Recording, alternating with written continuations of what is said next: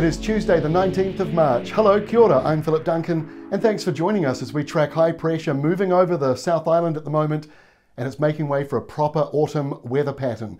Just a reminder that tomorrow, Wednesday, is the autumn equinox at exactly 4.06 pm for the mainland of New Zealand, and after that moment, basically in the weeks ahead, you're going to notice that the nights become longer than the days, and that is basically the end of summer for this year anyway. Well, it comes back at the end of the year, so don't be too dark. Um, here is the high pressure zone over us at the moment. Cold morning this morning for inland parts of the South Island. And for the North Island, a bit of a breezy south to southeasterly wind, which makes it a bit cloudier, some showers to the north here, but sunnier if you're inland and further to the west. It's a busy weather map at the moment. Low pressure zones all up in the tropics, ex cyclone Megan now inland, another possible cyclone off to the west coast. You've also got in here a cold front and a stormy system in the Southern Ocean and more high pressure. So, real autumn variety now in our weather pattern. So, that's a good thing. If you need rain, then you want variety. You don't want it to be a repetitive pattern of dry like we've been seeing. So let's try and make sense of that high pressure zone. This is the next 48 hours from Tuesday tonight, uh, and you can see the high sort of slips off the country, still holds on a little bit to the North Island by the time we get to Thursday evening.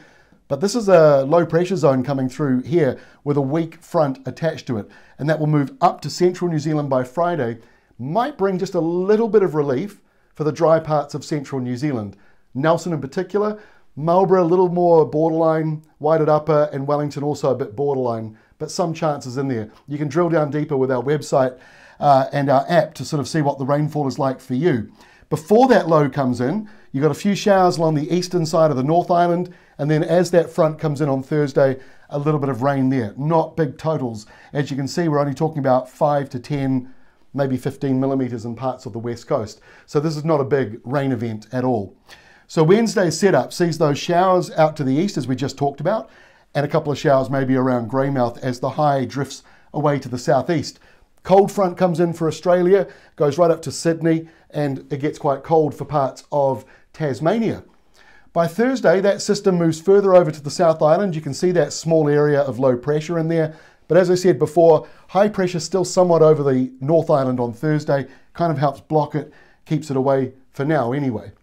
As we get into Friday, that's when we've got a chance of some wet weather coming in to some of these dry parts of the upper South Island. The low is just in the right spot to kind of push some of that rain back around due to the cyclonic airflow at the middle of it. So spins around like that, helps to pull back some of that rain into Nelson, into Marlborough. But look, as you can see, the pale blue shading means this is only 5 to 10 millimeters at best. You might, uh, up in the hills, get a little higher. So we're just trying to lower expectations, but at the same time give you a little bit of a silver lining that there is a bit of wet weather on the way. For the western side of the North Island, that front comes in during the afternoon, a few showers, brief bit of rain. It doesn't look like it's going to be sticking around too long. We've got a few showers around on Saturday, the low itself now moving away. So that chance for rain in the upper South Island, pretty short lived.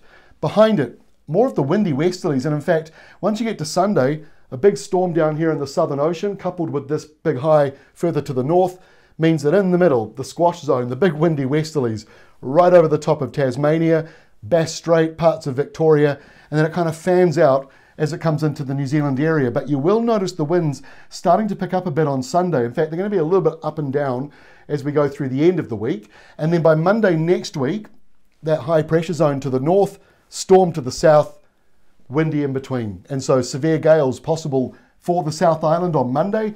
Blustery up as far north as Auckland, although we're not expecting damaging winds that far north. And eastern areas mild and dry.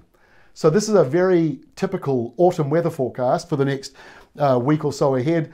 And we do expect the tropics to stay active as well. See, there's sort of lows like this one, and we've obviously got that cyclone, the ex-cyclone in Australia at the moment. That's a good thing. We see a bit of life in the tropics. We've got life down this way. All it takes is a break in these big highs, and we'll get a rainmaker to come through. Hopefully, for these very dry regions, you'll get that chance at some point over the coming few weeks.